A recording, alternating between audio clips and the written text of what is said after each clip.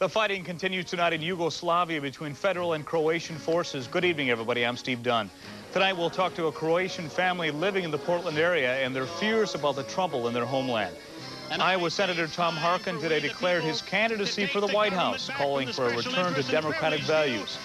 There's a new leader in Forbes magazine's list of the richest entertainers, and it was a magical wedding for one of the NBA superstars. New sports, and weather after the news.